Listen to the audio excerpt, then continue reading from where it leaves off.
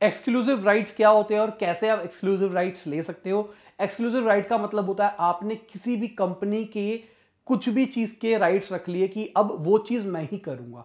जैसे कि मैं कपड़ों की बात करके चलूँ तो बहुत सारे इंटरनेशनल ब्रांड्स हैं जो कि इंडिया में आने चाहते हैं। पर इंडिया के कुछ ऐसे नॉर्म्स हैं जिसके चक्कर में वो डायरेक्टली आ नहीं पा रहे।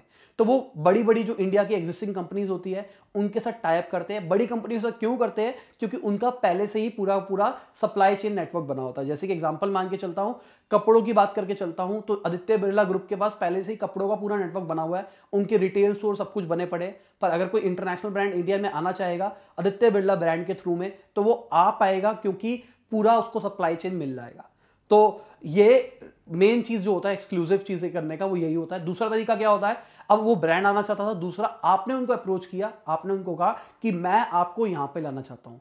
तो मेरे क्लाइंट थे आज से कुछ एक साल पहले। उन्होंने एक यूएस का ब्रांड था, उसको इंडिया में लॉन्च करने के लिए पिच मारा था। उनको पूरा प्लान बताया, पैसे दिए, सब कुछ किया। मीटिंग्स करी, पाँच दस मीटिंग्स करी होगी, उसके बाद जाके उसको इंडिया के ऊपर लेके आए। तो दो तरीके होते हैं एक्सक्लूसिव लेने के। एक, वो खुद आना चाहते हैं और आपने उनको बताया कि देखो, मैं बेस्ट हूँ क्योंकि मेरे पास ये सब कुछ है। दूसरा, आप उनको अप्रोच करते हो, उनको बताते हो कि आप यहाँ पे भी ला सकते हो, ये वाली ऑडियंस को आप केटर नहीं कर रहे। पैसा मैं लगा रहा हूँ, आप देखो आप कैसे कर सकते हो। आप माल दो बस।